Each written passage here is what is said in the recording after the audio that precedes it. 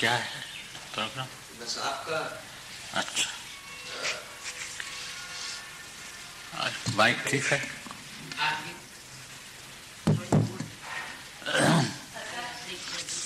मित्रों मैं श्री विजय जी का बहुत आभारी हूँ कि मुझे उन्होंने ये अवसर दिया कि मैं आप सब लोगों से मिल सकूँ। आज ही के दिन पाँच तारीख को मेरा व्याख्यान था बनारस हिंदू यूनिवर्सिटी में जब दीपाली जी का पत्र गया कि पाँच तारीख को हमारे यहाँ संगीत की गोष्ठी प्रारंभ होगी तो यदि आप पाँच को ना आ सकें तो छह को आ जाइए तो मैंने कह करके टलवाया अपना व्याख्यान के पाँच की जगह पर आप उसको अगले सप्ताह में रख लीजिए। मुझे कलकत्ता जाना है। और ऐसी ट्रेन भी मैंने चुनी कि जिससे मैं कम से कम सात बजे प्रातः वहाँ पहुँच जाऊँ। अगर वो लेट भी हुई तो ज़्यादा से ज़्यादा एक घंटा लेट होगी। तो आठ बजे भी पहुँच जाऊँगा, तब भी मैं दस बजे की सभा में सम्मिलित हो सकूँगा।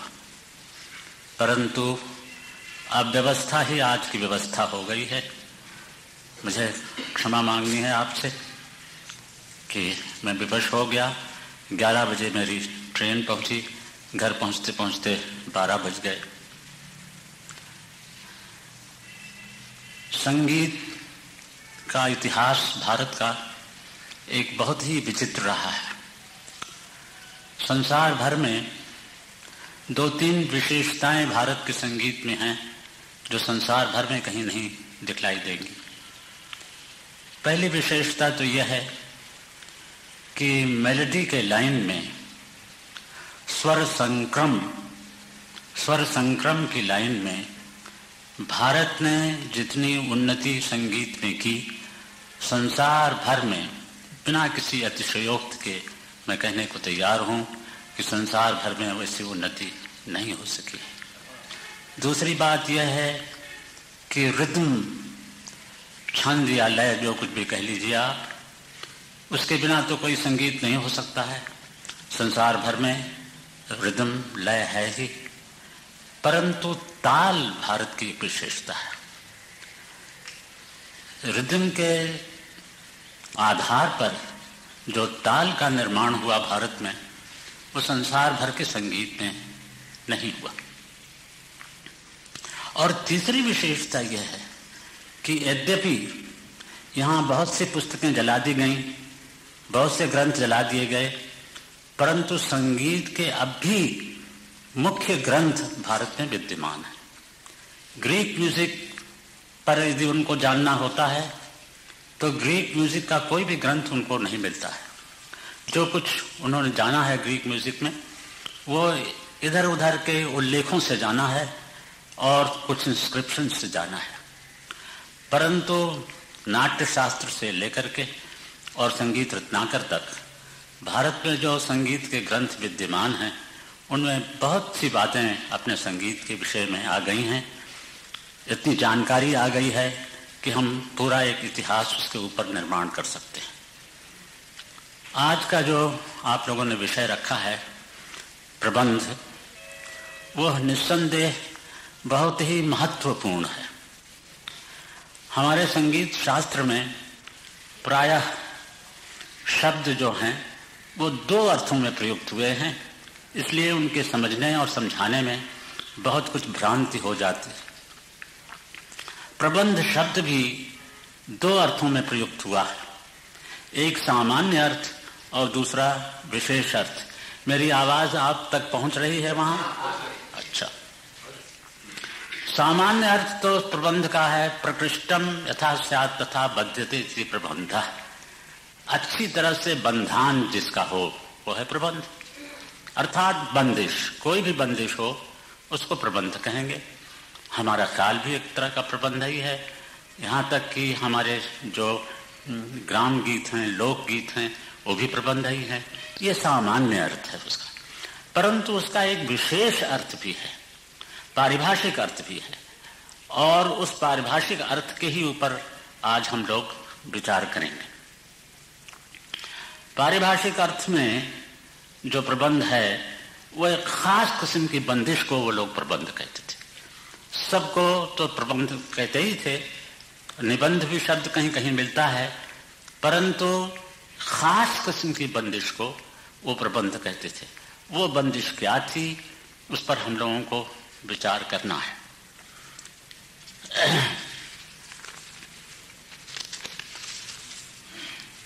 वो बंदिश ऐसी थी कि चार उसमें धातुएँ होती थी। और छह उसके अंग होते थे। अब धातु शब्द भी संगीत शास्त्र में दो अर्थों में प्रयुक्त हुआ है। एक तो सामान्य अर्थ और दूसरा विशेष अर्थ। सामान्य अर्थ जो कुछ भी धारण करे, धा धातु से निष्पन्न हुआ है ये शब्द। जो कुछ भी धारण करे आपस में, वो सब धातु है। हमारे शरीर में भी कफ, वात और पित्त आयुर्वेद ये कहता है कि तीन ऐसी शक्तियाँ हैं जो सारे शरीर को धारण करती हैं और आयुर्वेद में उसको धातु कहते हैं।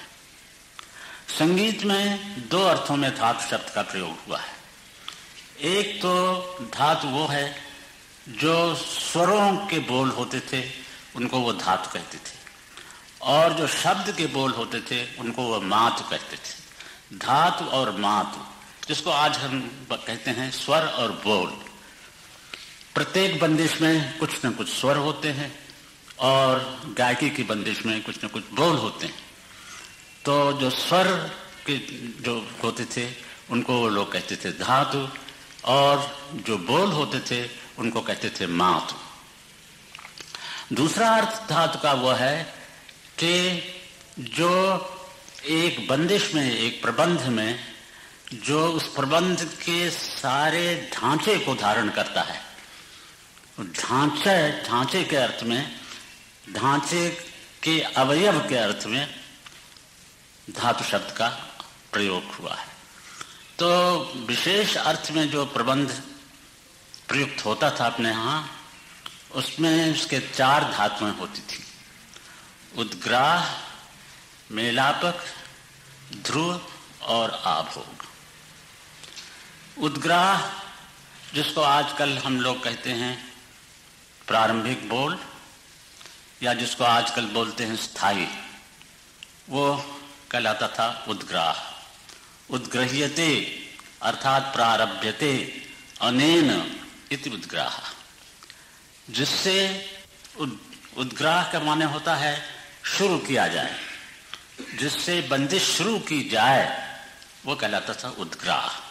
जिसको आजकल हमको लोग कहते हैं स्थायी बंदिश का पहला हिस्सा, पहला अवयव, पहला हिस्सा वो कहलाता था उद्ग्राह।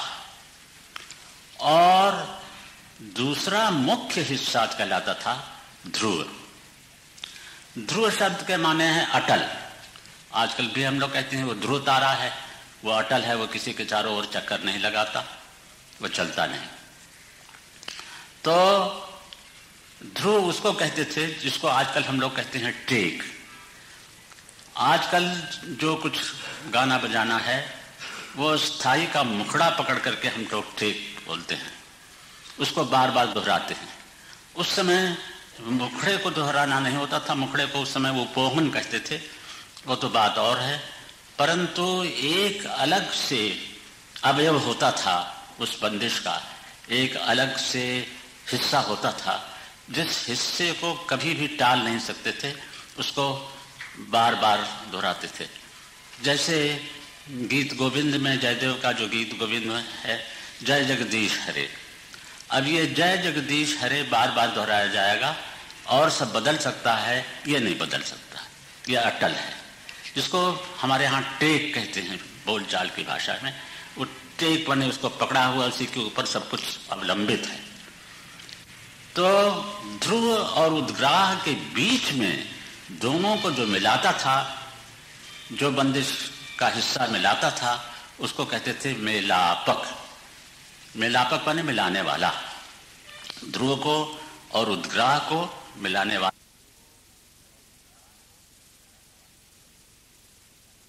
कुशल गायक होता था, वो वहीं का वहीं जब वो गाना प्रारंभ करता था तब बीच में अपनी तरफ़ से एक बंद, एक हिस्सा उस प्रबंध का गा देता था, जो कि मेलापक कहलाता था। ध्रुव और उद्ग्राह को मिलाने वाला हिस्सा। और चौथा हिस्सा, आभोग। आभोग का अर्थ होता है संस्कृत में परिपूर्णता। तीन अर्थ आभोग शब्द के हैं, जिसमें पूरा एंजॉयमेंट समन्ता भोग आ के माने समन्ता, चारों ओर से जिसका भोग हो, वो आभोग है। पूरा एंजॉयमेंट सारे बंदिश का जिससे मिले, वो है आभोग परिपूर्णता, जहाँ की वह बंदिश आकर के पूरी हो जाए, उसका अर्थ है आभोग और एक विचित्र अर्थ है आभोग का, सांप जब अपने को लपेट के बैठता है तो अपना दुम मुँह की तरफ़ कर लेता है, इस तरह से लपेट के बैठता है। उसको भी कहते थे संस्कृत में, आभोग। और एक आश्चर्य की बात है, यूरोपियन म्यूज़िक में भी इटालियन शब्द है कोडा। कोडा के माने वही है सांप, जो कि इस तरह से लपेट कर बैठता है। उसको वो लोग भी कोडा को फाइनल फिनाले जिसको कहते हैं वह अंत में वो कोडा, वो भी उसी आभोग का अर्थ रखता है। तो ये चार जो हैं, ये धातु कहलाते थे। बंदिश के, प्रबंध के। अर्थात उद्ग्राह, मेलापक, ध्रुव और आभोग। ये आवश्यक नहीं है कि हर एक बंदिश में चारों हों। दो तो नितांत आवश्यक थे।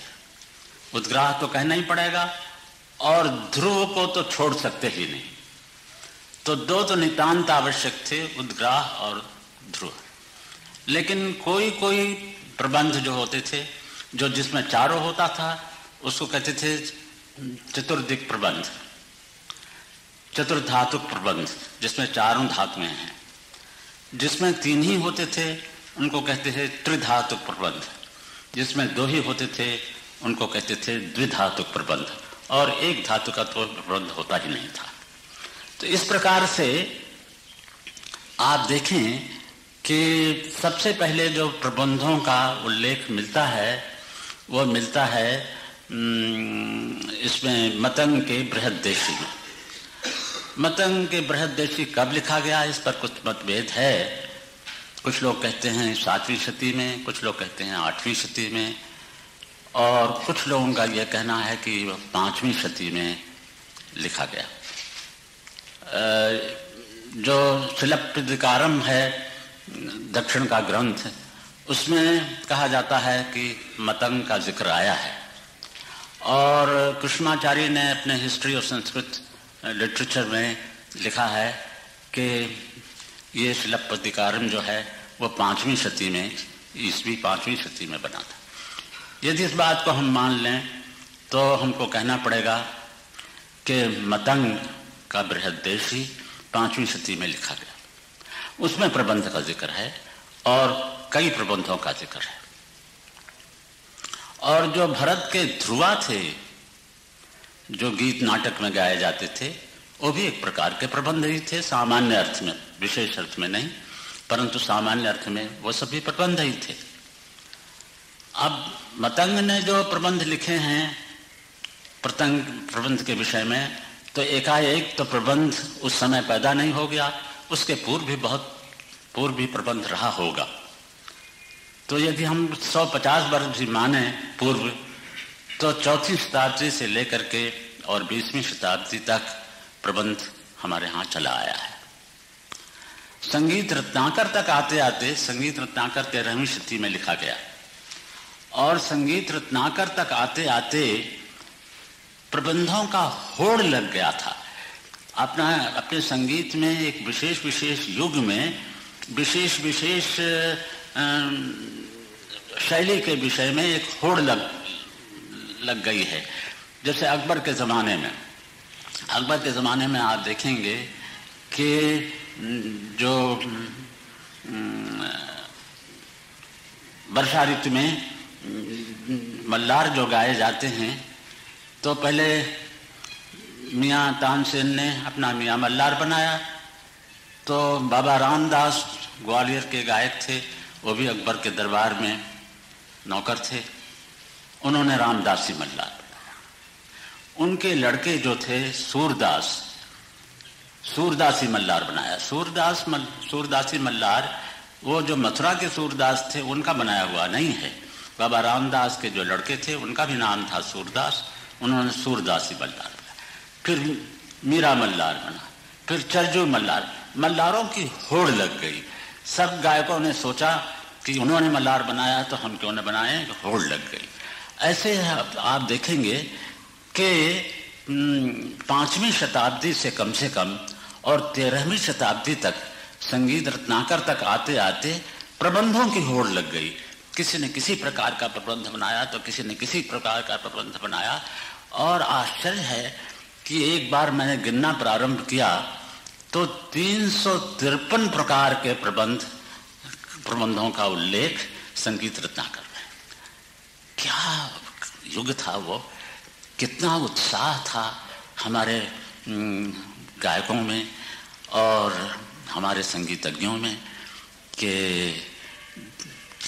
कोई स्टेट का पेट्रोनेज नहीं, फिर भी इतना उत्साह था, इतनी लगन थी कि नाना प्रकार के प्रबंध उन्होंने बनाए हैं। प्रत्येक का छंद अलग, किसी किसी में शब्दों की इतनी संख्या होगी, ये अलग, ताल सबके अलग अलग। मैंने एक जीवन में समाप्त होने वाला नहीं, इतने प्रकार का प्रबंध। अब मैं, वो तो संभव नहीं है कि तीन सौ तिरपन प्रकार के प्रबंधों का मैं यहाँ ज़िक्र करूँ। कम से कम एक महीना चाहिए उसके लिए। परंतु मैं उस प्रबंध को लूँगा जिससे कि हमारी परंपरा आज तक चली आई है। और वो परंपरा है ध्रुपद की। संगीत रत्नाकर में, व्यस्त रूप में और समस्त रूप में। व्यस्त रूप में मैंने अलग अलग तो कई जगह ध्रुवम पदम इस प्रकार का शब्द आया है। परंतु समस्त रूप में ध्रुव पद भी दो या तीन बार संगीत रत्नाकर में आया।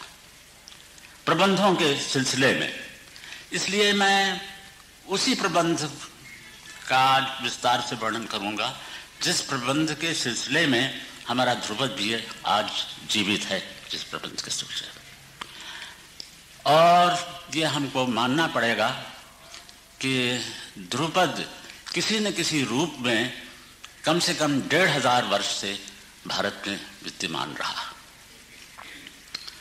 तो चार तो उसके धातु होते थे प्रबंध के, और अंग भी उन्होंने बनाए हैं, छह अंग होते थे।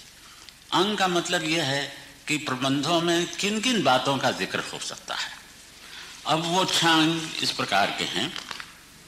एक है तेनक, दूसरा है पद, तीसरा है पाठ, चौथा है विरुद्ध, पांचवा है ताल, छठवां है स्वर। मैंने, स्वर तो सब में ही होगा, लेकिन गान में सरगम, स्वर का मतलब है यहाँ सरगम भी उस प्रबंध में शामिल किए जाएँ। ये संभव है। तेनक जो शब्द है, ये मंगलवाचक शब्द है। ये मंगलवाचक इस अर्थ में आया है कि संगीत शास्त्र में ऐसे नए नए शब्द उन्होंने बनाए हैं, जब तक कि उनके ऊपर कोई टीका न मिले, तब तक उसका समझना कठिन हो जाता है। संगीत रत्नाकर में एक जगह पढ़ते पढ़ते मुझको पगला शब्द मिला।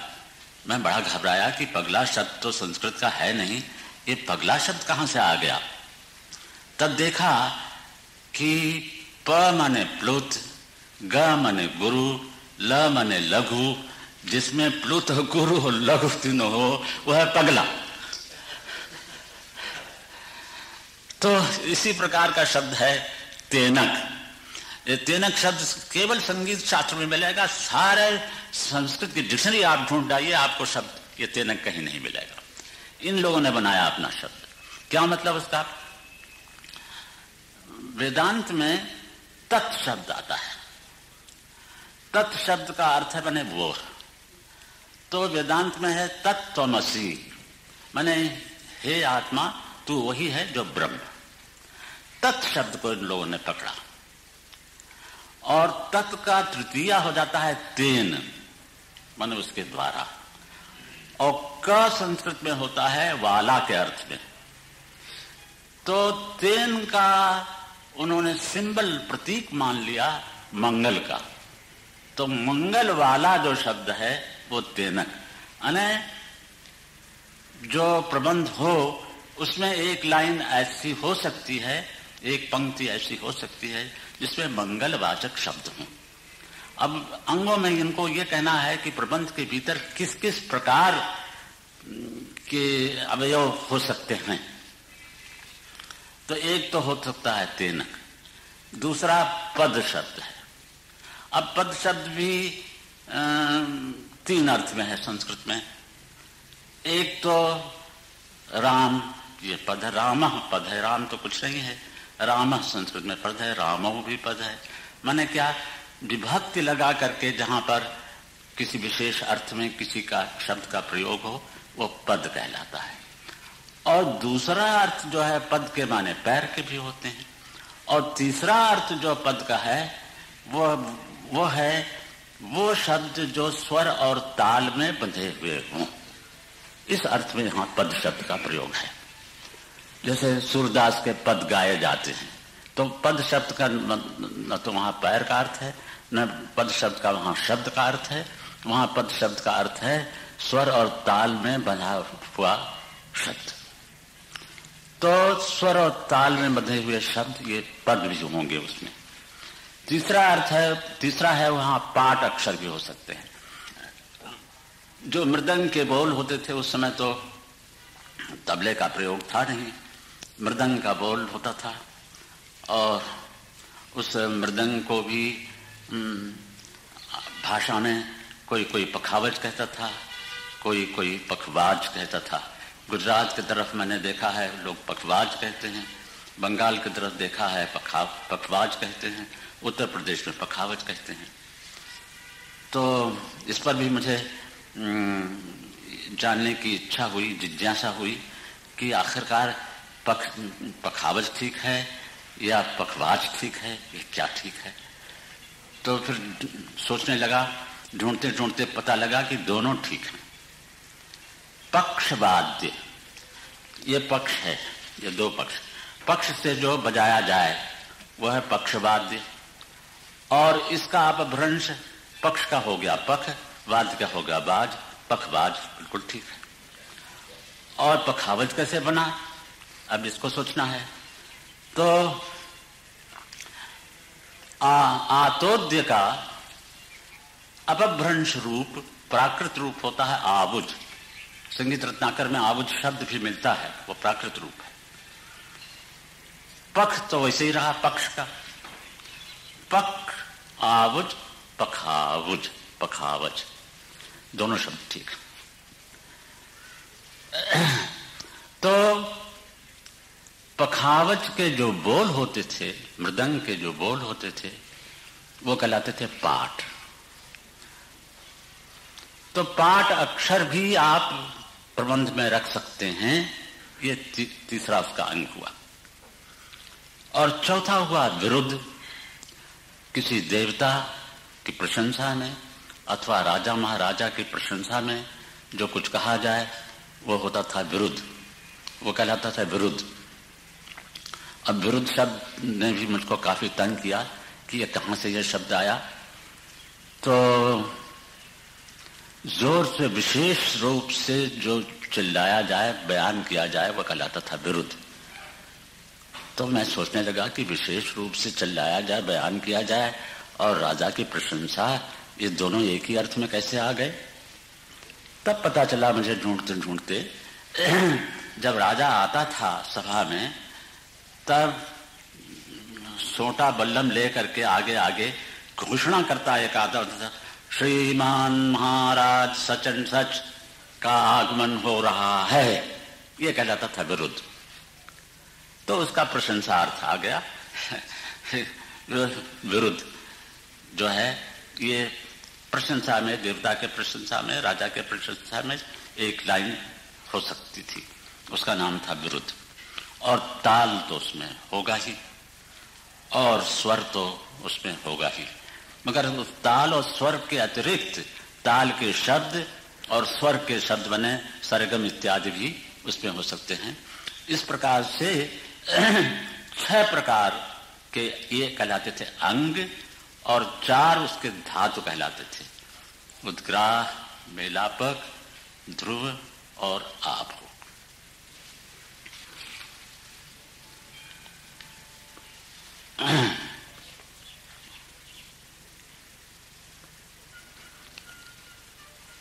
अब मैं आता हूँ उस पर कि जो जिस प्रबंध का सिलसिला आज तक विद्यमान है ध्रुपद के अंग में, उसी प्रबंध को मैं लूँगा। उसको कहते थे सालग सूट प्रबंध। और जितने प्रबंध होते थे, उसमें अंतर या अंतरा शब्द नहीं है कहीं भी। जैसा मैंने पहले कहा, उद्ग्राह, मेलापक, ध्रुव और आभो। एक प्रबंध ऐसा होता था, जिसमें उद्ग्राह, मेलापक, ध्रुव के बाद एक और पंक्ति आती थी, जिसको कहते थे वो अंतर। अंतर और अंतरा दोनों का एक ही अर्थ है। और उसके बाद आता था आभोग। उसको अंतर क्यों कहते थे? क्योंकि वो ध्रुव और आभोग के बीच का पद था। बीच की पंक्ति थी। अंतर का अर्थ जैसा मैंने कहा, बीच वाला।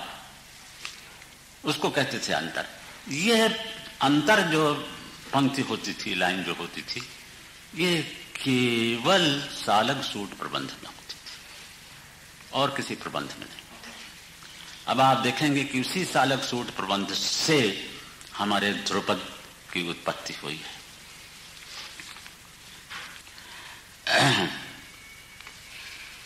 उसमें संगीत रताकर में आया है, ध्रुवा भोगांतरे जातो, धातुर अन्यो नराभिद सतुसालग सूडस्थ रूप के स्वेव दृश्यते। ये केवल सालक सूट रूप में है अंतर शब्द तब उसमें क्या हो गया कि उद्ग्राह, ध्रुव और अंतर और आभोग ये चार सालक सूत्र प्रबंध में मैंने और प्रबंधों में अंतर वाली पंक्ति नहीं होती थी। सालक सूट प्रबंध में अंतर की पंक्ति होती थी। और इस सालक सूट प्रबंध के कई भेद थे। छह भेद, सात भेद उसमें मिलते हैं। सात भेद।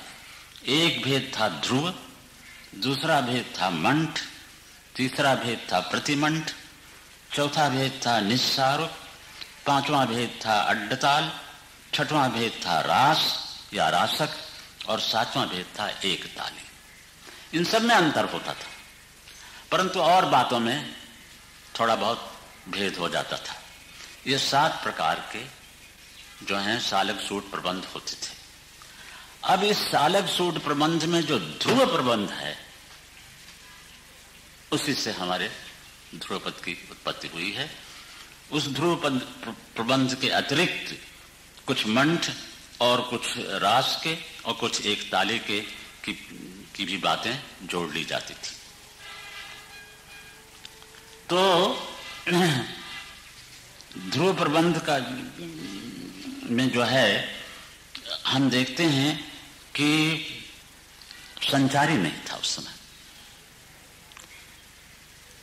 अंतर क्या हुआ? जो ध्रुवपद आज का जो ध्रुवपद है और उस समय का जो ध्रुव है उसमें भेद क्या हुआ? इसको देखना है हमको। ये तो मैंने कह, कही दिया है। कि ध्रुपद जो है उसी सिलसिले में है उसी परंपरा में है। परंतु थोड़ा अंतर है। क्या अंतर है? उस समय संचारी नहीं होती थी।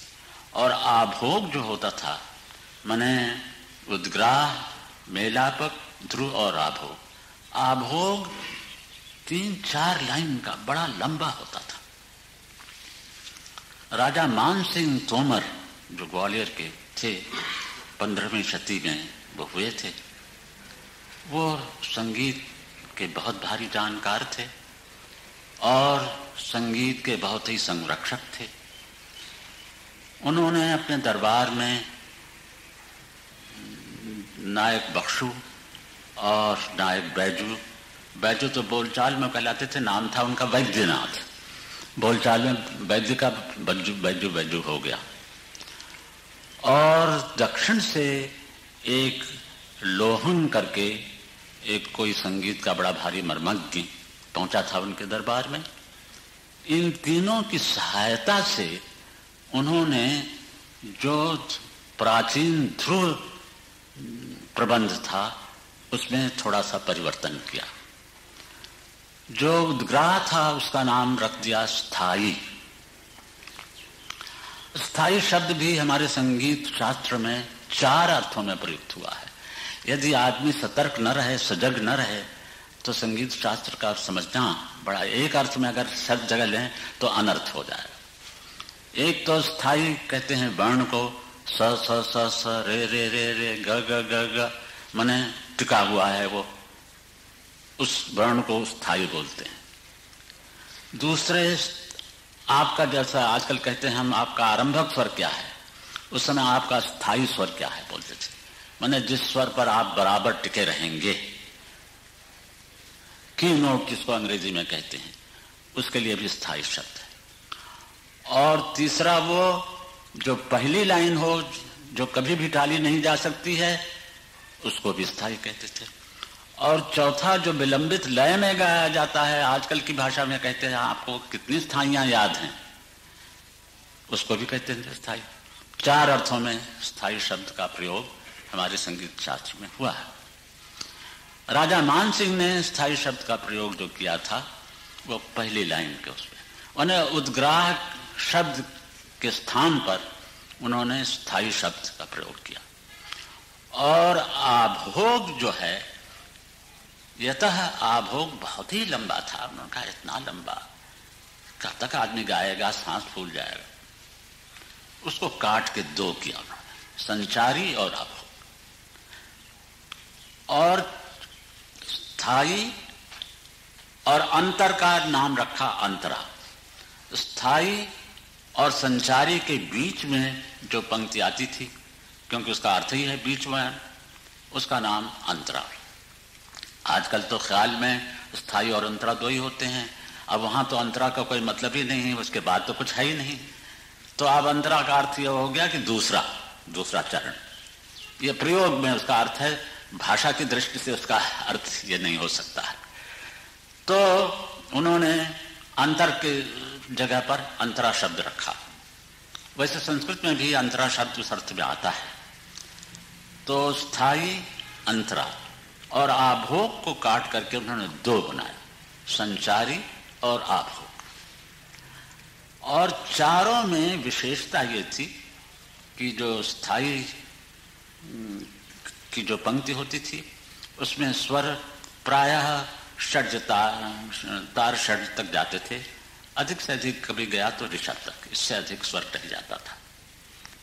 मंत्र से लेकर के, मंत्र के दो तीन स्वर से लेकर और तार षड या तार ऋषभ तक स्वर जाते थे। जो अंतरा होता था, उसको गंधार या मध्यम से प्रारंभ होता था और उसमें ऊपर तक गंधार या किसी किसी की शक्ति हुई तो मध्यम तक जाता था।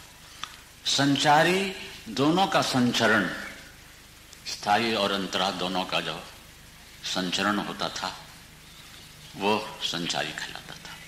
और आभोग वो होता था जो सबको लपेट लेता हो।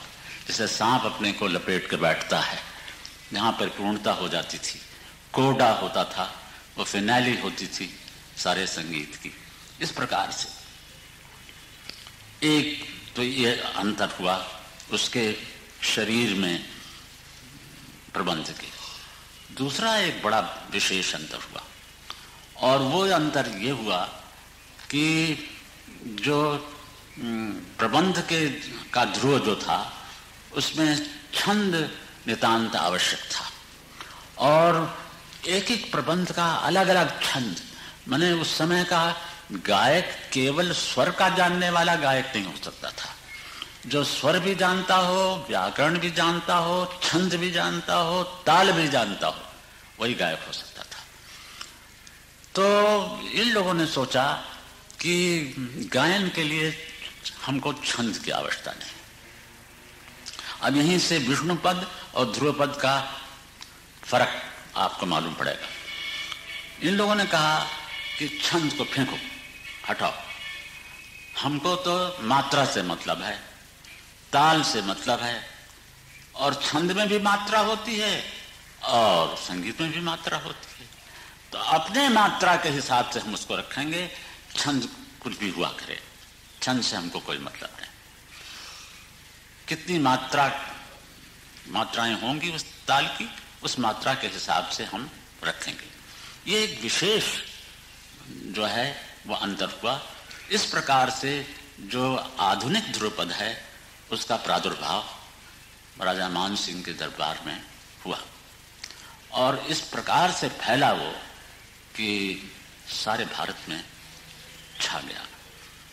दक्षिण में भी कर्नाटक संगीत में सूड प्रबंध होता था, पर सूड प्रबंध में वो परिवर्तन नहीं हुआ जो कि उत्तर में हुआ। सूट संस्कृत का शब्द है नहीं, कोई देशस्थ शब्द है, इसका हमको पता लगा नहीं कौन सा देशस्थ, किस प्रकार का शब्द है वो। पर सूट कहलाता था। संस्कृत में संगीत शास्त्र में बहुत से शब्द ऐसे मिलते हैं जो संस्कृत के शब्द नहीं हैं। देशस्थ शब्द शब्द हैं, कहाँ से वो आए, उसका पता नहीं।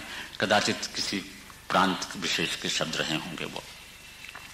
तो दक्षिण में भी सूट प्रबंध बहुत चलता था। परंतु जो परिवर्तन राजा मान सिंह ने किया,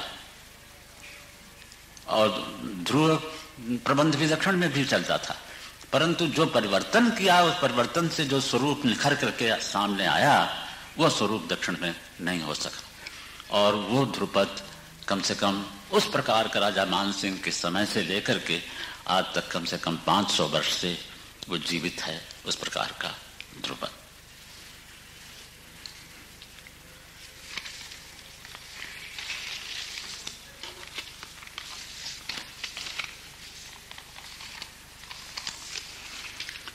राग कल्पद्रुम का कदाचित नाम आप लोगों ने सुना होगा।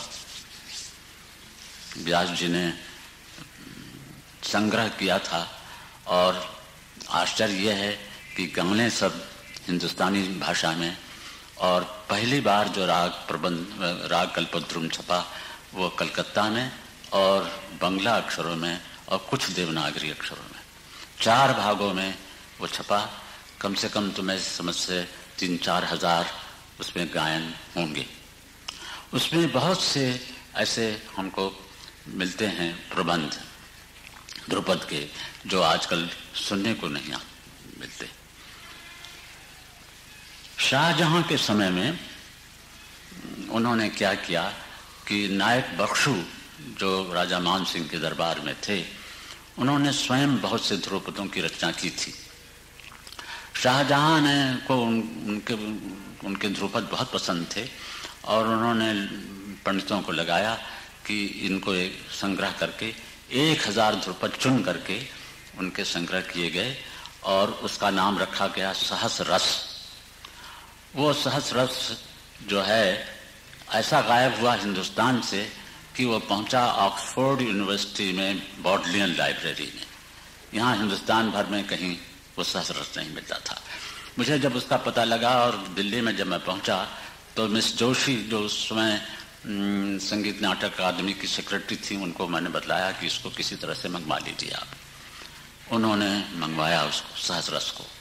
और वो सब फारसी लिपि में लिखा हुआ था। तो वो पढ़ा रहा बहुत समय तक, लेकिन लगभग एक सात आठ वर्ष हो गए। उस फारसी लिप से उन्होंने नागरी लिप में उसको करवाया है, हिंदुस्तान अकेडमी दिल्ली के, और वो प्रकाशित भी हो गया है।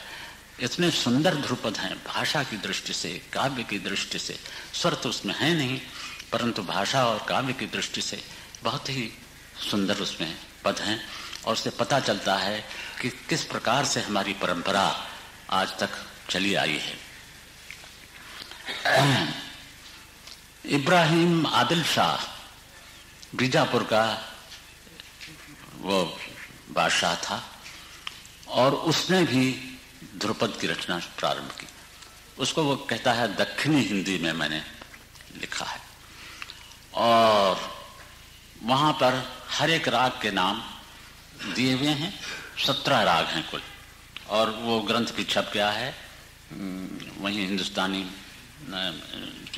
अकादमी में। और कोई छप्पन ध्रुपद उसमें मिलते हैं। और हर एक ध्रुपद के सामने, राग के सामने दर मकाम भूपाली। दर के माने होते हैं फारसी में मैं। भोपाली मुकाम में। मुकाम शब्द फारसी का उन्होंने राग के अर्थ में रखा है, जिससे स्पष्ट होता है कि मकाम शब्द जो है ठाट के अर्थ में या मूर्छना के अर्थ में कभी प्रयुक्त नहीं होता था। मकाम शब्द राग के ही अर्थ में प्रयुक्त होता था। अब जो मुझे विशेष बात और कहनी है, वो ये कहनी है कि जो प्रबंध होते थे, उसमें काव्य के ऊपर भी रचना जो बनाते थे, केवल तुकबंदी नहीं होती थी। या केवल शब्दों का एक ढेर नहीं रख दिया जाता था। उसमें काव्य की भी दृष्टि होती थी।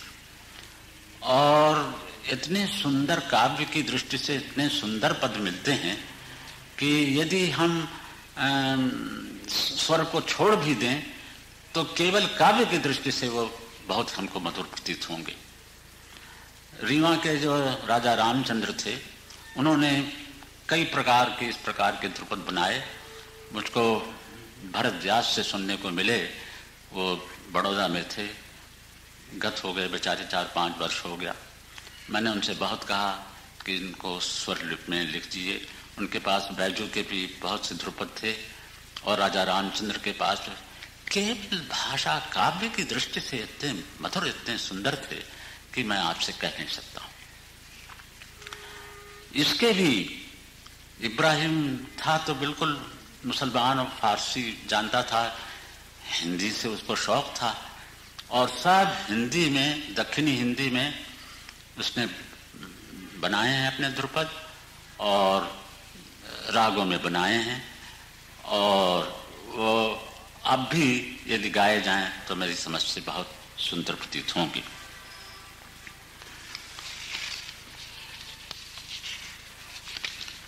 एक बात कहने से रह गई कि प्रबंध की जातियाँ भी बहुत सी होती थी। जो पाँच प्रकार की जातियाँ हमको मिलती हैं।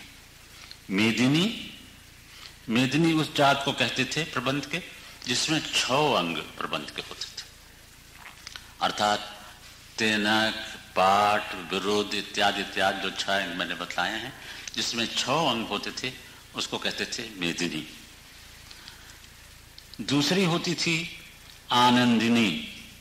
जिसमें केवल पाँच अंग होते थे। तीसरी होती थी दीपनी जिसमें केवल चार अंग होते थे।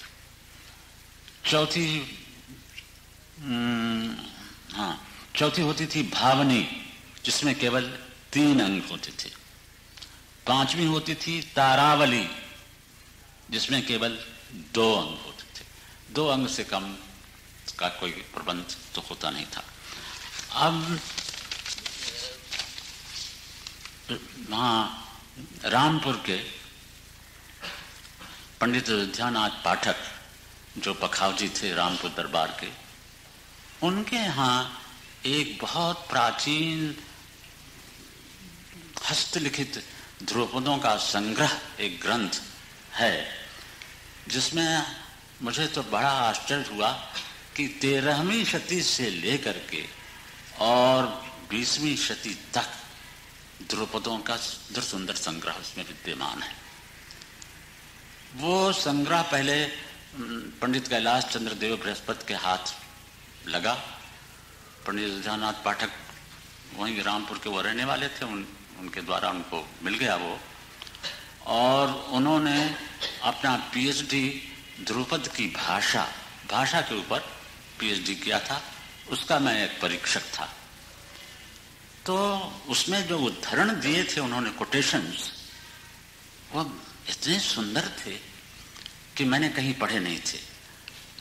तो परीक्षा के बाद मैंने उनसे पूछा कि आपको ये सब कहाँ मिले? तो उन्होंने कहा कि पंडित उद्यानाथ पाठक के पूर्वज कोई थे, उन्होंने संग्रह किया था, वो मेरे हाथ लग गया है, उसी में से मैंने ये सब दिए हैं। तो मैं बहुत उत्सुक था कि मैं, मुझे वो ग्रंथ मिल जाता देखने को। लेकिन तीन वर्ष बृहस्पति जी के पास वो ग्रंथ पढ़ा रहा, वो जल्दी देते नहीं थे। बड़ी कठिनाई से अयोध्यानाथ पाठक ने उनसे वसूल किया।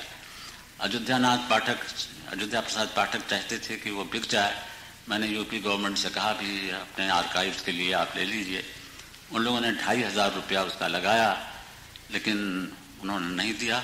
उनका पाँच हज़ार से कम में हम इसको नहीं देंगे। तो फिर उनको वापस कर दिया हमने। अब भी उनके पुत्र के पास वो तो गत हो गए। उनके पुत्र मैंने चाहते हैं आपको काव्य की दृष्टि से दिखलाने के लिए कि कितने कितने सुंदर। एक तो मुझको आश्चर्य हुआ कि गोपाल नायक जो दक्षिण से आया था उसने अलाउद्दीन खिलजी की प्रशंसा में एक ध्रुपद बनाया तेरहवीं शती में वो भी उसमें उस संग्रह में विद्यमान है। तो अब मैं कुछ उदाहरण आपको दूँगा। आप देखेंगे कि उस प्रकार के ध्रुव के जो ये अंग मेदनी और आनंदनी और दीपनी और भावनी और तारावली इत्यादि जो प्रकार थी, जातियाँ जो कहलाती थी प्रबंध की, उनमें कुछ जातियाँ हमको मिली बैजू के प्रबंधों में। अब भावनी जात का एक प्रबंध में पढ़कर करके आपको सुनाता हूँ। सारे गम पधनी सप्त सुर मोवन में ऐसे ही आवे। आप देखिए जो सरगम एक अंग है उसका प्रबंध का, वो इसमें आ गया। आरोही, अवरोही, संचारी, लय दिखावे। निध प मगरे सा निध पप मगरे सा। इत्यादि इत्यादि ससरे अलंकार नाद तीन ग्राम मूर्छना श्रुति प्रमाण। स निधप सरे गम कंठ करण बतावे। कहे बैजू बाबरे सुनिए गोपाल संगीत मुद्रा शुद्ध वाणी तंत्र मत्सों बतावे। अब आप देखेंगे कि तीन अंग भावनी में जो होती थी, उसमें तीन अंग इसमें विद्यमान है। स्वर का अंग विद्यमान है, पद का अंग विद्यमान है। और नाद इत्यादि जो संगीत का वर्णन किया, वो अंग भी इसमें विद्यमान है। एक राज बहादुर करके हुए हैं, ये इनका हमको पता नहीं लगा ये किस सती में हुए थे। उन्होंने दीपनी जात की एक, उसमें दी है, दीपनी जात में चार अंग होते थे। वो चार अंग कौन कौन है? पद और पाटाक्षर और स्वर और ताल। परमात्मा जीवात्मा तु अंतरात्मा श्री लक्ष्मी नारायण जगत प्रबंध संगीत, नाद, ताल, सकल आप अब तक तक धीरे धीरे कट कट तक, ध्रुवम, ये आप, ये जो शब्द है, ये पाठाक्षर है। तब जग, नग नग धुम, किट तक, धाग, इत्यादि सब पाठाक्षर है। सप्त सुर संपूर्ण पमारे रे सब स्वर है। कहने का अर्थ यह है कि इसमें चार अंग विद्यमान है। अच्छा तो जो प्रबंध की गायकी जो थी, उसकी क्या शैली थी? थोड़ा सा इस पर मैं अपने जीवन में मुझे दो बार प्रबंध की गायकी सुनने को मिली। एक तो मैंने इंदौर में आपटे करके एक 80 वर्ष के बहुत ही वृद्ध सज्जन थे। उनसे प्रबंध सुनने को मिला। उस समय भी वो 80 वर्ष के हो चुके थे। आवाज़ उनकी कांपती थी, परंतु नमूने के तौर पर मैं सुनना चाहा और मेरे एक मित्र वहाँ ले गए और मैंने उनसे सुना, ठीक वही ढंग प्रबंध की गायकी की थी जो आज ध्रुपद की है। पहले उन्होंने रागा लप्त की और उसके बाद उन्होंने पद गाए और उस पद में उन्होंने स्थाय भंजनी और रूपक भंजनी दोनों किए। मैंने बांट, लय बांट, स्वरों का लय बांट शब्दों के साथ और अंत उन्होंने उसी से किया। वो दुगुन तिगुन नहीं करते थे।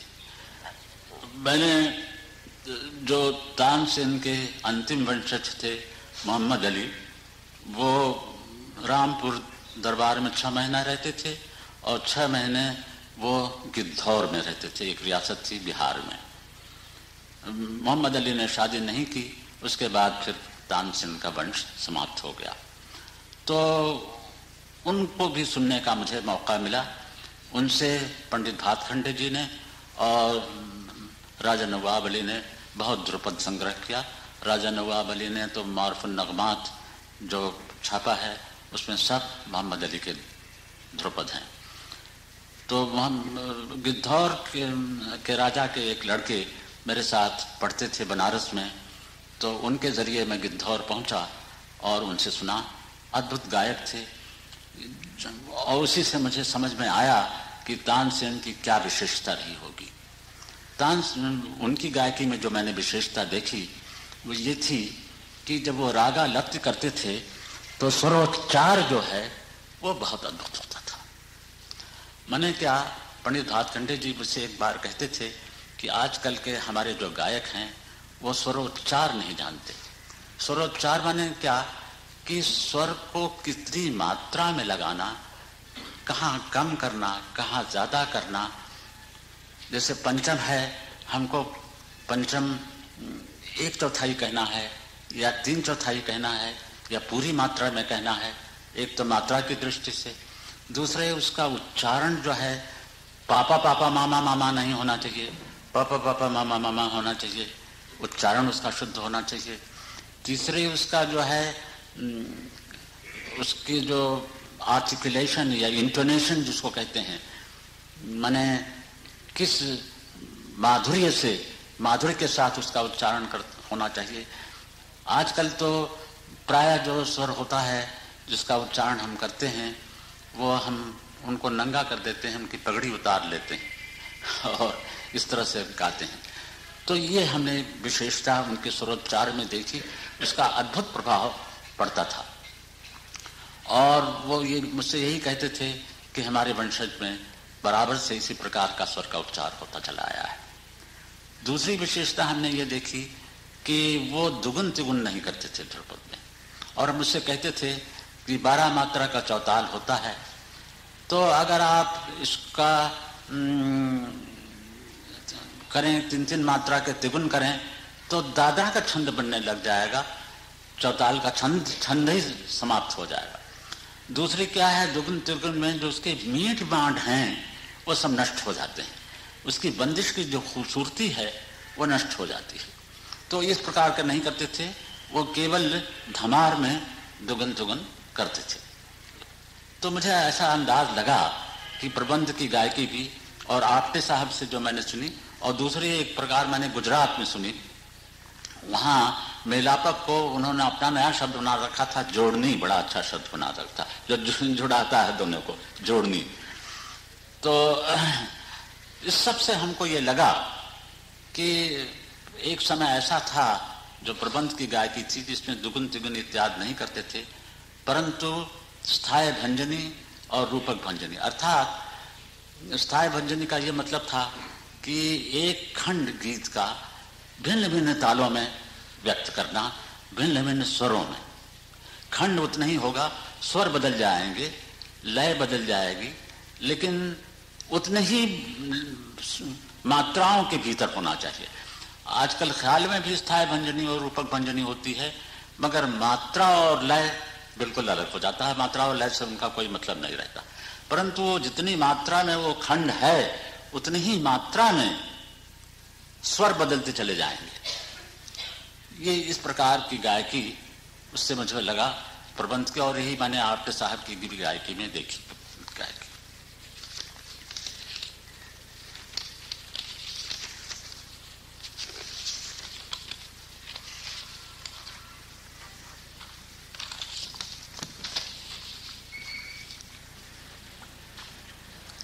कुछ प्रबंध की जो ध्रुपद की चार बानियाँ हैं, इसके विषय में भी मैं दो शब्द कहना चाहूँगा। ये बानियाँ जो शुद्धा, भिन्ना, गौड़ी, साधारणी इत्यादि बानियाँ प्राचीन संगीत में थी, उन्हीं के आधार पर बनी। परंतु मैं तो समझता हूँ कि वो लुप्त हो गई अब, क्योंकि जितने लोगों से मैंने सुना कोई कहता है खंडार बानी इस प्रकार का है, कोई कहता है इस प्रकार का है, कुछ मेरे समझ में नहीं आया, मैं तो समझता हूँ बिल्कुल लुप्त हो गई वो बानियाँ केवल इतना ही कहना है कि बानी शब्द का अर्थ यहाँ भाषा नहीं है, बोल नहीं है। करम इमाम ने अपने मदनसीकी में ये एक भ्रम फैला दिया कि बानी का अर्थ जो है, वो बोल है, खंडार बानी जो है, वो एक गाँव है, दिल्ली के पास, वहाँ की बोल है। सब पे बोल ब्रजभाषा है, राज, कुछ राजस्थानी के शब्द हैं कहीं कहीं दो चार पंजाबी शब्द आ जाते हैं, बोल तो कोई भिन्न नहीं है, कोई करके मुझे भिन्न दिखलाए तो मैं मानूँ उसको। तो इस प्रकार से उसने भ्रांति फैला दी कि कैलाश चंद्र बृहस्पति ने भी यही लिख दिया कि वो सब बानियाँ जो हैं बोल के ऊपर है। बानी का अर्थ वहाँ बोल नहीं है, बानी का अर्थ शैली। किस प्रकार से वो अदा की जाएगी उसकी शैली? हमारे संगीत रत्नाकर में भाषा शब्द भी आता है। और भाषा शब्द जो है, भाषा, विभाषा, ये सब वहाँ बोल थोड़ा ही है। वो तो राग की एक शैली है। और भाषा का जो कल्यनाथ ने टीका की है आलापस्य प्रकार। यह क्या है। तो ये बानिया उस पर नहीं है, परंतु मेरे लड़कपन में मैंने सुना था, कालपी के एक थे वो बानियों का करते थे परंतु उस समय मुझे समझ थी नहीं वो कहाँ तक ठीक था कहाँ तक नहीं ठीक था मैं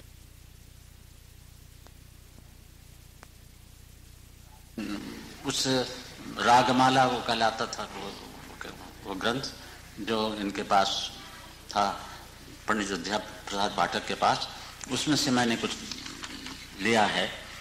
एक उदाहरण मैं तानसेन के पद का देता हूँ। राग गौड़ मल्लार में है, चौताल में। इसमें प्रोषित पतिका नायिका का विरह का वर्णन है। प्रोषित पतिका नायिका, उस नायिका को कहते हैं जिसका पति प्रदेश गया है। विरह उस, से बेचारी परेशान है। वो बादल छाए हुए हैं और वो कहती है, घन न हो री माई, जो आई मो पर मनमत की फौजें थाम। ये घन नहीं है बादल नहीं है, ये मनमत के फौज हैं। इस प्रकार से शुरू किया उन्होंने। मनमत संस्कृत में कामदेव को कहते हैं, मन मथनात इति मनमथ। जो मन को मथ डाले, कितना सुंदर शब्द है वो है मनमथ। तो वो कहती है, प्रोषित घन न घन न हो री माई। ये घन नहीं है, ये बादल नहीं है। घन न हो री माई, जो आई ये जो घन आया है, मुँह पर मनमत की फौजें थामन। मनमत की फौज आई है। कैसे मनमत की फौज आई है? दामिनी वर्ग लिए बुंद बान बरसन। वर्ग कहते हैं तलवार को। दामिनी जो चमक रही है, बिजली जो चमक रही है, ये ये तलवार सी है। ये तलवार, ये फौज की, तलवार होनी चाहिए। ये तलवार है।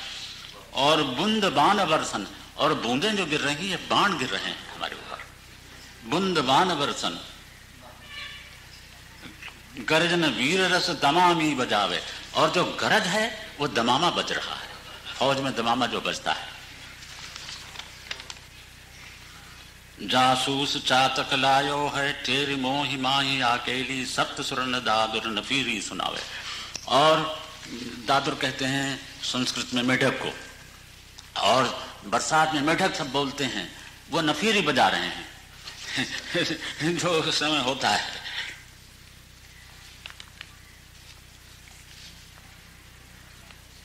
तो आप बहुत लंबा है। कहने का मतलब यह है कि तानसेन कोई साधारण गायक ही नहीं थे, वो बड़े भारी रचयिता भी थे।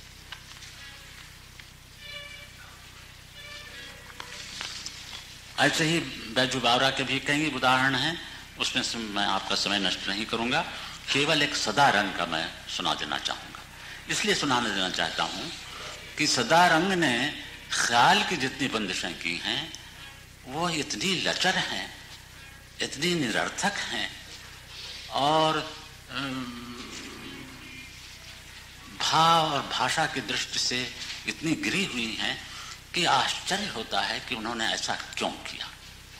इसलिए आश्चर्य होता है कि सदारंग जो थे, वो साधारण व्यक्ति नहीं थे। वो बड़े भारी पंडित थे। और हिंदी के महाकवि देव, उनके घनिष्ठ मित्र थे, उनके पास आते थे, उनके यहाँ ठहरते थे। यदि वो अपने से भाषा नहीं ठीक कर सकते थे तो उनसे सहायता तो ले सकते थे। अब सदारंग की, उन्हीं सदारंग की एक ध्रुपद मैं आपको सुनाता हूँ। जो ध्रुपद इतना सुंदर लिख सकता है, वो का ख्याल में नहीं लिख सकता था। तो मैं इसके पीछे बहुत पड़ा कि क्या कारण है कि बदनवा बांधो, मोहम्मद शाह के घर काज आज, बस या तो ये है, और या यह है कि सात ननद का झगड़ा है कहीं, और कुछ भाव और भाषा की दृष्टि से बिल्कुल बेकार है। अब मैं उन, जो ध्रुपद उनका है, वो सुनाता हूँ। इसमें सब उन्होंने देखा है कि चारों ओर कितनी लाली है। रंग लाल, रूप लाल, अधर अधिक लाल, दृगन के डोरे लाल, कोर लाल झलके, करताल चुरी लाल चुड़िया भी लाल, शीश फूल द्रुम लाल इति लाली बीच प्यारी लाल पलकें पलकें भी लाल हो गई। असन बसन लाल, जसन चमक लाल लाल ही लदना पगन परत लाल सुगन की। माला लाल, दुलरी के रेशम लाल, सदा रंग प्यारे लाल लाल ही में ललके। जो इतनी सुंदर भाषा लिख सकता है, वो क्या ख्याल में नहीं कर सकता था? तो मुझे बड़ा आश्चर्य हुआ, मैं इसके पीछे पड़ा। जो लोगों से, पुराने उस्तादों से मैंने सुना तो उन्होंने मुझे बतलाया कि असल में सदारंग ने जो ख्याल की रचना प्रारंभ की, पहले तो वो ध्रुपदी सिखलाते थे, और ध्रुपद की उनकी शिक्षा थी, और वो बीणकार थे, बीणा बजाते थे। तो एक दफे कोई ध्रुपदिया आया, बादशाह मोहम्मद शाह के यहाँ, और उसके पीछे बादशाह ने कहा कि बैठ कर तुम बीणा बजाओ इसको उन्होंने अपना अपमान समझा। अच्छा ऐसा है तो मैं ऐसी रचनाएँ करूँगा कि ध्रुपद बिल्कुल चला जाएगा यहाँ से।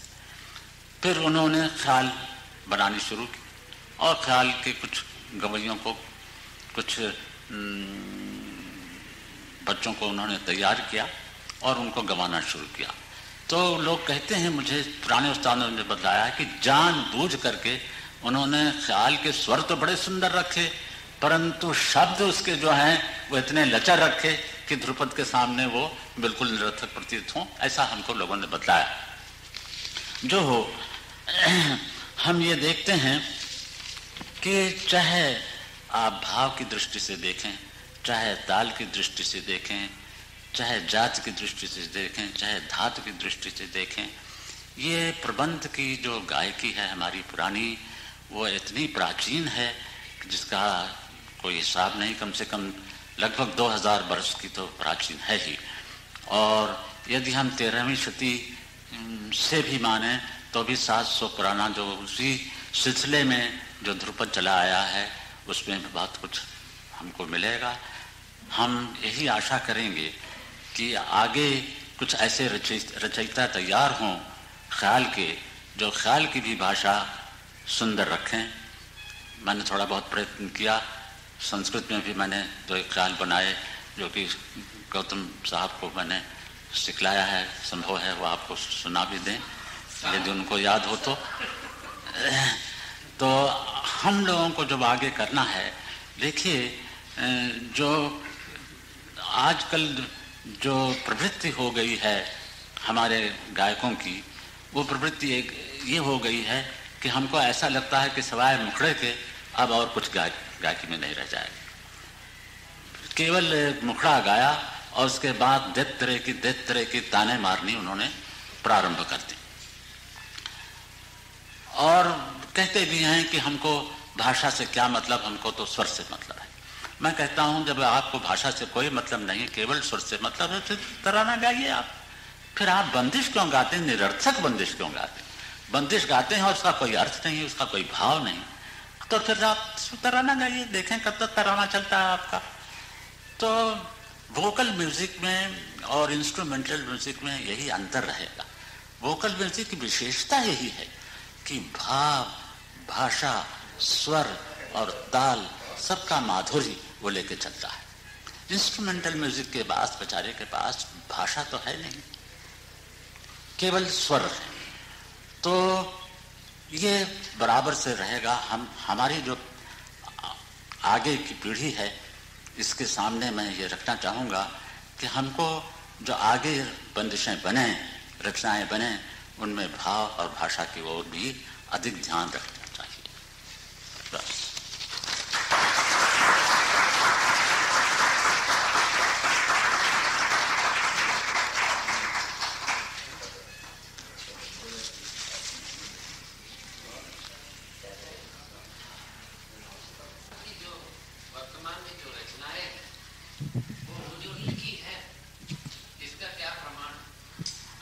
इसका तो उनके नाम पर है, बस इतने ही प्रमाण हो सकता है। बहुत से लोगों ने हाँ हाँ ये बात आप ठीक कह रहे हैं। बहुत से लोग जैसे कालिदास के ऊपर नाम रख लिया। तानसेन का भी बहुत से लोगों ने नाम रख लिया। संभव है। लेकिन ये तो हम नहीं कह सकते कि उसमें सौ में से मुमकिन है पचास ऐसी हो तो पचास तो कम से कम होंगी ही उनकी। नहीं नहीं, कोई उनकी उनकी भाषा भाषा की कोई विशेषता है क्या? ख्याल रचना उनकी सदारंग की रचनाओं में कोई भाषा विशेषता है क्या?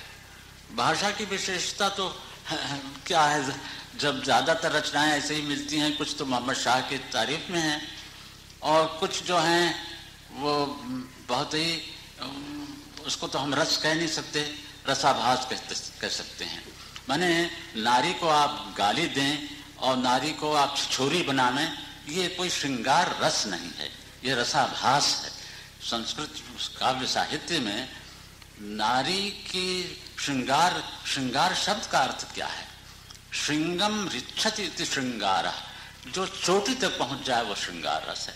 श्रृंगार रस के समान कोई रस दूसरा संसार में है ही नहीं, मुझसे पूछेगा आपको परंतु वो श्रृंगार रस इतना उदात्त होना चाहिए कि उसमें छिछोड़ापन नहीं होना चाहिए। छिछोड़ापन जहाँ आता है, वो रस नहीं है, रसाभास है।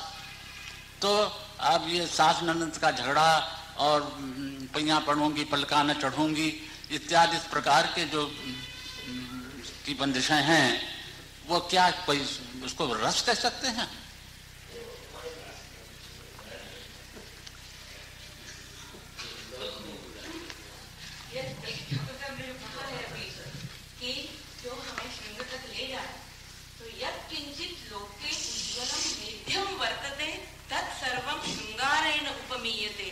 ठीक है। श्रृंगार की वो भाषा है। बिल्कुल। हम लोग उसको बहुत ही नीचे गिरा दें। तो रसाभास ही कहेंगे अगर बिल्कुल तो रस है ही नहीं। तो रसाभास है।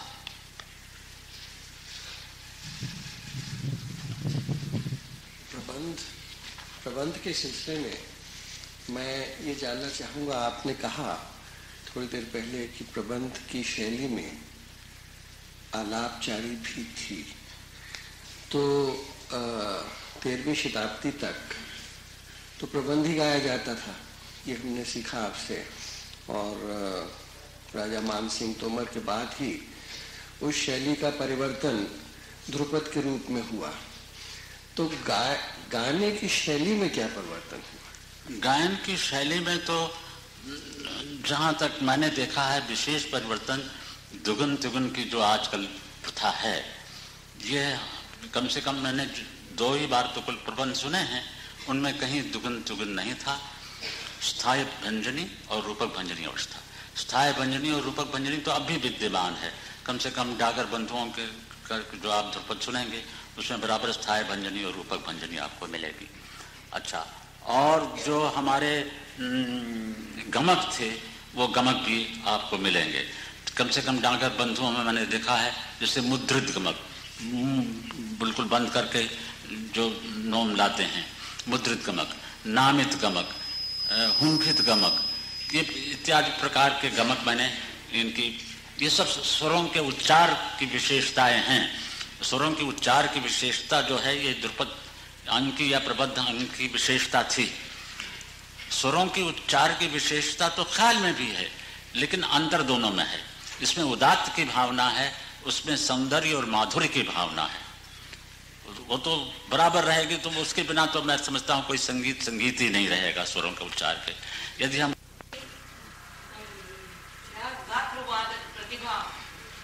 विशेषण उद्भाव्यते। तो कुछ प्रतिभा के लिए तो गुंजाइश उसमें रही है और कहीं कहीं आलाप का भी वो ज़िक्र उपज शब्द जो है बोलचाल का ये संस्कृत के उपज्ञा शब्द से आया। उपज्ञा का अपभ्रंश है उपज। उपज्ञा उसको कहते थे, जो अपने आप से उत्पन्न हो, ज्ञान, वो उपज कहलाता था। मैंने उसके लिए प्राचीन शब्द है प्रख्या और उपाख्या। अभिनव गुप्त ने अपने ध्वन्यालोक लोचन में ये दो शब्द रखे हैं। अद्भुत शब्द हैं। वो कहता है कि जितना आर्ट है संसार का चाहे वो पेंटिंग हो, चाहे पोइट्री हो, चाहे म्यूज़िक हो, चाहे स्कल्पचर हो, जो कुछ भी हो, उसमें दो मुख्य बात होती है। प्रख्या और उपाख्या। सरस्वती के ये दो कुछ हैं वो कहता है। प्रख्या वो है इंट्यूशन जिसको कि क्रोची ने सबसे पहले इटली में जब इंट्यूशन और एक्सप्रेशन ये दो शब्द रखे तो सारा यूरोप जगमगा उठा के, आहा, क्या पकड़ा है इन्होंने आर्ट का, की नस पकड़ ली है। कि इंट्यूशन और एक्सप्रेशन पावर ऑफ़ एक्सप्रेशन ये दो होनी चाहिए। उनसे एक हज़ार वर्ष पहले अभिनव गुप्त कह गए हैं प्रख्या और उपाख्या ये दोनों शब्द जो। प्रख्या माने भीतर से एक उपज पैदा जो हो जाए प्रतिभा वो तो है प्रख्या। पर उसको कहने का अदा करने का जो की, जो शक्ति है वो कहलाता उपाख्या। उर्दू में एक शेर है दिल के किस्से कहाँ नहीं होते हाँ वो सबसे बयान नहीं होते। तो वो बयान करने की जो शक्ति है, उसका नाम है उपाख्या। वो शक्ति जो है, वो तो कुछ गिफ्ट होती है, कुछ गुरु से मिलती है, कुछ संप्रदाय से मिलती है, वो शक्ति सब में नहीं होती। और उसी शक्ति की विशेषता है तानसेन की क्या विशेषता थी? मैंने उनसे जो पूछा, मोहम्मद अली से, साहब, इतना नाम आपके तानसेन का चला आ रहा है। क्या खसूसियत क्या थी तानसेन तो वो ये कहते थे कि, साहब, खसूसियत उच्चार की थी। वो इस ढंग से लगाते थे कि लोग चढ़ते रह जाते थे। भाई या तो देखिए, संगीत में मैं तो दो शब्दों में कहता हूँ, संगीत का मर्म जो है। या तो इस ढंग से हो कि आदमी चकित हो जाए और कहे, वाह और यह इतना दर्द पैदा हो कहे आह जिसमें वाह और आह ये दोनों नहीं है वो संगीत नहीं।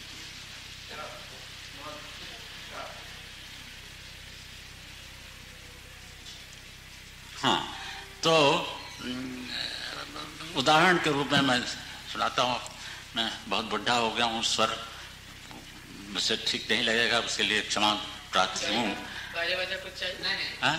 नहीं नहीं बाजा नहीं तो जब भातखंडे जी आए लखनऊ में, उसके सात आठ वर्ष पहले से मैं उनको जानता था। मैं उनको प्रणाम करने गया और मैंने कहा कि आप, वो प्राय पाँच छः महीने लखनऊ रहते थे, और बाकी वो बम्बई में रहते थे। तो मैंने कहा, पंडित जी, मैं कभी कभी आपके पास आ जाऊँ तो आप मुझे कुछ थोड़ा बहुत सलाह देंगे? कहा, क्यों नहीं? मैं कानपुर में था उन दिनों। तो मैं उन दिनों संगीत सीख रहा था। और भातखंडे जी के जो राग लक्षण थे, लक्षण गीत, उनमें मुझे विशेष रुचि थी। तो कुछ लक्षण गीत रट करके मैं गया उनके पास सुनाने को। मैं थोड़ा सुनाता हूँ जैसा उन्होंने लिखा है अपने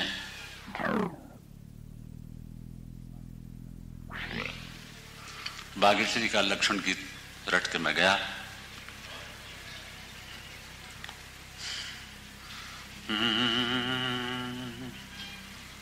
गाओ बागेश्वरी मृदुलगत सुरगनी खरहार जब मैंने उनको सुना मैंने कहा पंडित जी ठीक है उनका बिल्कुल ठीक है।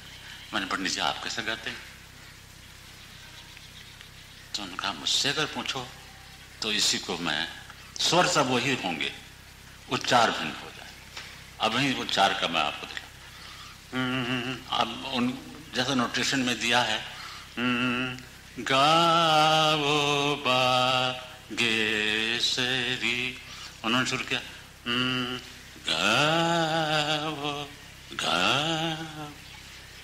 मैंने पंडित जी ये थोड़ा सा आपने लिखा नहीं। उन्होंने कहा हम क्या ब्रह्मा ब्रह्मावतारा में तो नहीं लिख सकते?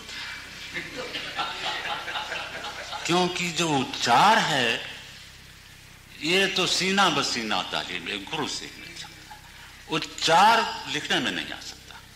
हम्म, बा घेसरी मृदुल उसमें है मृदुल उसमें मृदुल सुरगनी उसमें गनी, पूरा पंचम है। उन्होंने कहा, उसकी मात्रा कम कर दो। पंचम की मात्रा कम कर दो, देखो कितना भेद हो जाता है। ये जो इसलाह है, ये गुरु से मिल सकता है। इसी को कहते थे उच्चार। मैंने क्या वज़न कितना कम कर रखना? अब जैसे उस, उसी में एक बात पंडित जी ने चीज़ दी है तिलक कामोद की।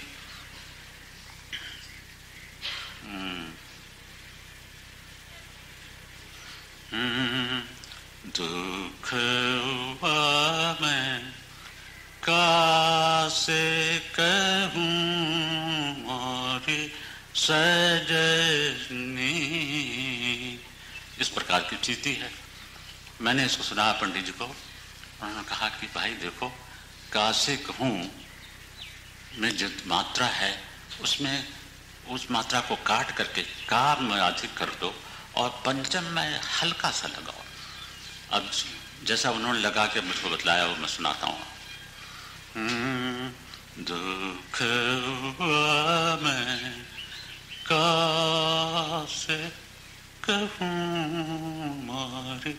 उसमें कासे कहूँ, उसमें कासे कहूँ इतने में भेद हो गया। तो वो कहते थे, यही भेद है। यही भेद है उच्चार का। ये गुरु केवल बतला सकता है। ये कोई पुस्तक नहीं बता सकती। तो उन्होंने कहा, ये बतलाया भी हमको कि आज जो संकट है सामने हमारे हमने सब नोटेशन किया है, लेकिन कहीं ऐसा ना हो जाए कि हमारा संगीत पेपर म्यूज़िक हो जाए। तो नोटेशन अपनी जगह पर है, याद नहीं आया, भूल गए, देख लिया इत्यादि इत्यादि सहायता उससे मिलती है। पर नोटेशन गुरु का काम नहीं ले सकता। कोई भी नोटेशन गुरु का काम नहीं दे सकता। उच्चार तो नोटेशन बता ही नहीं सकता। हाँ एक विज्ञान ने हमारे हाथ में एक नई शक्ति दी है, जो टेप रिकॉर्डर की है। ये इससे बहुत लाभ हो सकता है। जब मैं ऑल इंडिया रेडियो में था तो मैंने ये प्रस्ताव किया था कि संगीत के ऊपर जो पुस्तक अब बने, वो उसके साथ एक कैसेट भी बने। मान लीजिए संगीत में हमने कहा, कोमल गंधार इस राग में लगते हैं किस प्रकार से कोमल गंधार रखते हैं अब वो तो भाषा नहीं बोलेंगे। सब लोग कहते हैं, भाई, दरबारी का गंधार ऐसा है, तोड़ी का गंधार ऐसा है। अब लिखने में तो आ नहीं सकता, किसी प्रकार से भी नहीं आ सकता। संगीत के शास्त्र के ऊपर लिखना अत्यंत कठिन है। इसलिए कठिन है कि न उसका कोई रूप है, न रंग है। स्वर का तो पेंटिंग किया नहीं जा सकता। तो मैंने प्रपोज किया था, वहाँ पर प्रस्ताव रखा था कि एक radio dictionary of Indian music बने, जिसमें वर्णन पहले हो और उसको गा के उदाहरण दिया जाए, ताकि कैसेट और वर्णन दोनों मिला करके तब उसको समझ रहा और डॉक्टर रतन जनकर उस समय रिटायर हो चुके थे खैरागढ़ से। मैंने प्रपोज किया कि यह काम उनको सौंप दिया जाए और वो बॉम्बे से आवें, हम दोनों डिस्कस कर लेंगे। फिर वो सुना करके उसका कैसेट बन जाए। फिर अंतिम रूप से फिर डिस्कशन होकर के फाइनल हो जाए। छह महीने तक फ़ाइल चलती रही हमारे और डायरेक्टर के बीच में। पहले वो राज़ी नहीं होते थे। उन्होंने कहा, ये रेडियो का काम ही नहीं है डिक्शनरी बनाना, ये सब करना। खैर, किसी तरह से मिनिस्टर को मैंने राज़ी किया। जब राज़ी हो गए तो रतन जनकर जी आए और हम लोगों ने पहले मूर्छना से प्रारंभ किया कि किस प्रकार की मूर्छनाएँ होती थी, किस क्या, इत्यादि इत्यादि। भाषा विभाषा से भाषा तक हम लोग आए थे। छः बन चुके थे। इतने ही में मैं वहाँ से रिटायर हो गया। उसके बाद चाइनीज़ वॉर शुरू हो गया। जो कुछ बना बनाया भी था, वो भी मिटा करके उन्होंने प्रोपेगेंडा करना शुरू कर दिया। ख़त्म हो गया मामला तो समय तो अब ये काम हाथ में लेना है। क्योंकि ये तो केवल गायक नहीं कर सकता और केवल पंडित नहीं कर सकता। मैंने इसीलिए डॉक्टर रतन को चुना था कि उनमें दोनों बातें मौजूद थी। वो कर सकते थे। तो यदि कोई डिक्शनरी बन सकती है म्यूज़िक की तो इसी प्रकार की बन सकती है, अन्यथा वो सब बेकार हो जाएगी। लिखना वो अदा कर ही नहीं सकता। अक्षरों में, भाषा में कैसे क्या करेगा? जो स्वर की बात है, वो लिखने में कैसे आएगी?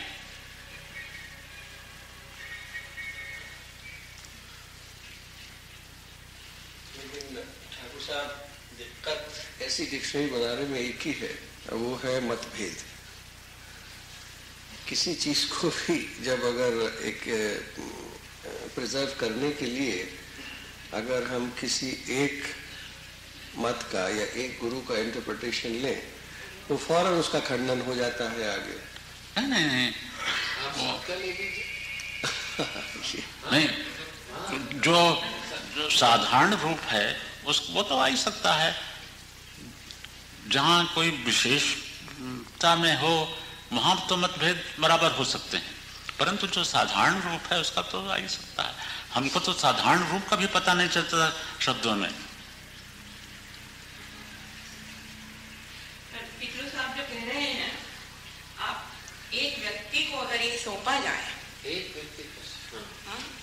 एक बोर्ड उसका बने मिलके करें कोई अपनी अपनी वर्षन दें चाहे साधारण हो क्योंकि टीका टिप्पणी तो हम जानते ही हैं। सब इसी को क्यों दिवाए दिया है? और ये सही नहीं है। चाहे साधारण हो चाहे कुछ भी हो पर ये समस्या सचमुच और रेडियो में भी ये समस्या कुछ आई थी मेरा ख्याल है। हम्म। हालाँकि वो सबसे योग्य व्यक्ति के पास ही दिया गया था और लोगों ने उसकी सराहना भी की पर उसके ऊपर भी टिका। संगीत नाटक अकेडमी में भी वो डिक्शनरी का कुछ काम है उसके ऊपर कितने फिर एक ही व्यक्ति को क्यों और दो ही व्यक्ति को क्यों? बल्कि दो व्यक्ति के लिए भी लोग तैयार नहीं हो रहे थे। इस समस्या का भी पर हल हो सकता है। हो ऐसी बात नहीं है। और ठाकुर साहब ने जो कहा उसकी आवश्यकता नितांत आवश्यकता हाँ, है। और जबकि हमारे पास आज विज्ञान का साधन है अगर हम उसका उपयोग आज ना करें मेरा ख्याल है कि हम लोग बहुत दोषी ठहराए साइंस ने हमारे हाथ में एक बहुत भारी हथियार दे दिया है। और हमको उसका उपयोग करना चाहिए। दोनों करके रखा जाए इसके लिए। मुमकिन है कि दस अच्छे हो सकते हैं एक खराब हो सकता है लेकिन असंभव नहीं है संभव है। करना ज़रूर है। कैसे? अगर सबका इसमें सहयोग रहे हाँ। तो आप इसको किसी लेवल तक ले जा सकते हैं। हर दर्जे तक हो सकता है उसके कई इंटरप्रिटेशन हो सकते हैं। इंटरप्रिटेशन का जहाँ तक सवाल है, आप देखेंगे कि चौदहवीं सदी में, ठीक डेट तो मुझको नहीं याद है, काड़ा इलाहाबाद के पास था एक बड़ा भारी हिंदू राजा था वहाँ पर। उसको जौनपुर के शर्कियों ने उसको परास्त किया, हराया लड़ाई में और हरा करके उसका सब राज छीन लिया। तो उस वक्त शर्किन इब्राहिम शर्की नाम था या क्या नाम था, मैं भूल रहा हूँ। तो उसने कहा कि बोलो तुम क्या चाहते हो? उसने कहा, आप चाहते क्या? आपने हमारा राज ले लिया। जो हम चाहते थे वो तो हो नहीं सकता। उन्होंने कहा, क्या क्या चाहते थे तुम? उनका हमको संगीत से बहुत शौक था। और उस समय इतना गड़बड़ हो गया था हमारे रागों में कोई कहता है, तामत भेद था, कोई कहता है इसमें ये स्वर लगते हैं, कोई कहता है, भात खंडे जी की क्या विशेषता? भात खंडे जी की यही विशेषता कि झाड़, झंखड़ काट करके एक सामान्य उन्होंने सामने रख दिया लोगों के। अच्छा तो उस समय वो झाड़, झंखड़ बहुत हो गए थे। तो उसने कहा कि हम तमाम संगीतज्ञों को बुलाना चाहते हैं, हिंदुस्तान के जितने हैं, और उनसे हम कहते हैं कि चाहे दो वर्ष लग जाए, चाहे दस वर्ष लगे। मिल करके एक, सब मिल करके एक सामान्य ग्रंथ लिखो। आपको आश्चर्य होगा, वो ग्रंथ का नाम बना तो हाँ तो उसने कहा शर्की ने कि अगर तुम मुसलमान हो जाओ तो हम तुम्हारा राज वापस कर देंगे। तो उन्होंने कहा, संगीत के लिए मुसलमान भी होने को तैयार। वो मुसलमान हो गया, और उसका नाम हुआ बहादुर मल्लिक। और उसने फिर संगीतज्ञों को इकट्ठा किया। जो ग्रंथ बना उसका नाम हुआ संगीत शिरोमण। और लेखक का नाम पंडित मंडली। ऐसे आप पंडित मंडली बना सकते हैं। एक का नाम नहीं रहेगा। चार को मिला करके, आपस में बहस करके, एक कहीं पर नतीजे पे तो पहुँचेंगे। जैसे आज इतना सौभाग्य मिला कि आप बैठे हैं। कल दिन क्या हो सकता है? ये नहीं परंतु आज बैठ करके अब चार लोग अपनी अपनी बातें अगर करें बिल्कुल किसी नतीजे पे तो पहुँचेंगे वो भी जो उसका जो वीडियो एंड कैसेट उसको अंकित कर लिया जाए। है कि नहीं? तो ये ये बहुत बड़ी चीज़ हो सकती है हमारे हिंदुस्तान के लिए क्या विश्व के लिए मैंने इस दिशा में कुछ न कुछ हमको करना होगा। हम तो हमको तो आप बहुत कुछ आशा आपके आईटीसी से है, क्योंकि हमारी बहुत पहले से कल्पना थी कि जो कॉलेजेस और यूनिवर्सिटीज़ में संगीत सिखलाया जा रहा है, उसका इतना ही, उसकी एक सीमा है कि एक कल्चरल उनको बैकग्राउंड मिल जाएगा, वहाँ आर्टिस्ट नहीं तैयार हो सकते। आलाप चल रहा है और घंटा बजा और बीच में भागे, आलाप छोड़ करके, समझा आपने? तो ये गुरु शिष्य आर्टिस्ट भारत में अब तैयार नहीं होंगे जब तक तो गुरु शिष्य संप्रदाय नहीं होगा। तो मैंने पहले वहाँ दिल्ली में भी बहुत बार बात किया तो एकेडमी ने क्या किया कि दो वर्ष के लिए स्कॉलरशिप दे। भाई दो वर्ष में कोई क्या आर्टिस्ट बनेगा? हाँ, अमीर खुसरो ने अपने ग्रंथ में लिखा है कि हिंदुस्तानी संगीत के लिए चालीस वर्ष चाहिए। बीस वर्ष तो गुरु से सीखो और बीस वर्ष अभ्यास करो। तो चालीस वर्ष से कम एक जगह लिखा है अमीर खुसरो ने। तो चालीस वर्ष नहीं तो कम से कम दस पंद्रह वर्ष तो चाहिए ही। इससे कम में तो कुछ काम बनने को नहीं। है फिर हमने यूपी गवर्नमेंट को मूव किया। तो यूपी गवर्नमेंट में भी दो वर्ष का लिखा, आप जानते हैं। तो दो वर्ष या टू टू टू टू किया, खत्म हो गया। समझा कम से कम आईटीसी ने तो इतना किया कि लोगों को इकट्ठा किया, उस्तादों को इकट्ठा किया और स्कॉलरशिप दिया। लोगों को सिखला रहे हैं। इससे मुझे बहुत कुछ आशा है और बड़ा संतोष है। इसीलिए मैं आया भी हूँ कि ऐसे ऐसे, ऐसी संस्था जिसने इतना काम किया है, वो वो मुझसे जो जो कुछ बन सके मुझे करना चाहिए। कर्तव्य समझ करके आया हूँ।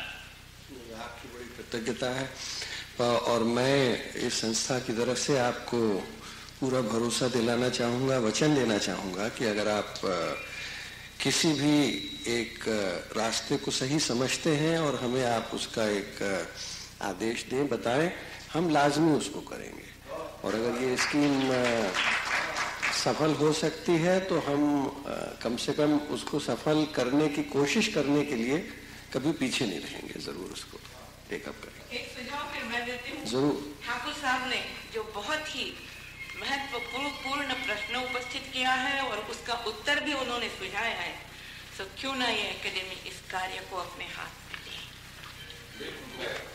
मैं आपको एकेडमी की तरफ़ से कमिटमेंट देता हूँ कि ये लाजमी किया जाए। बहुत ही आवश्यक।